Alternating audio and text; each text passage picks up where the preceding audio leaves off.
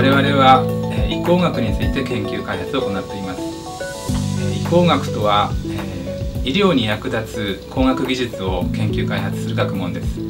その中でもマルチモーダル計測移行学というプロジェクトを立ち上げました、え、モダリティとは例えば CT とか MRI とか超音波とか内視鏡といったいろんな診断装置のことを言います。そういったものを複数組み合わせて、えー、診断能や治療の成績を上げていくというような方向性で進めています。超音波は安全にリアルタイムで体の中を観察できる装置として病院で広く使用されていることはご存知かと思います。